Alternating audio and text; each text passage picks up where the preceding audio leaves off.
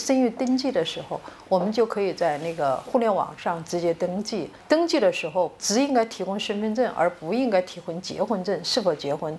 全国政协委员、湖北首义律师事务所主任谢文敏近日受访时表示，生育登记取消结婚限制是现代化国家的国情需要，也是保证少部分人群正常生活的必要举措。全国有很多优秀的女性，她足以不在婚姻捆绑的情况下，她可以通过生育辅助技术来完成她做母亲的这样的一个愿望。那么，是不是他也应当享受优惠政策呢？谢文敏称，法律主动照顾这部分少数人群，是我国法治温度的体现。谢文敏在调研和律师职业中还发现，一些非婚生子女面临落户难、上学难、参加高考难、就业难等问题。在他看来，生育登记取消结婚限制，也是统一管理非婚生子女，让特殊群体在法治的环境里正常生活，避免成为法外之名，引发治安问题的必要举措。我并不是说，就是说我